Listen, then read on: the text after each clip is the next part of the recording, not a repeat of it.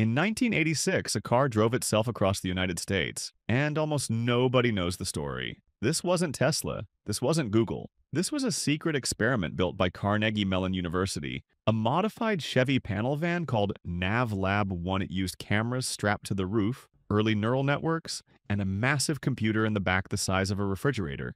And in a world where most people didn't even have computers at home, NavLab completed a 3,100 mile trip from Pittsburgh to San Diego, with the computer driving 98% of the journey. It changed lanes, tracked road lines, avoided obstacles, everything modern self driving cars do today. The government didn't believe it, so they made the team run live tests, and the van passed almost everyone. But here's the mystery the project disappeared, funding was cut, reports were locked, and self driving tech wouldn't return for nearly 20 years. Some claim the government feared the public wasn't ready. Others think the tech was taken for military use. So, did we invent self driving cars decades before we were allowed to see them?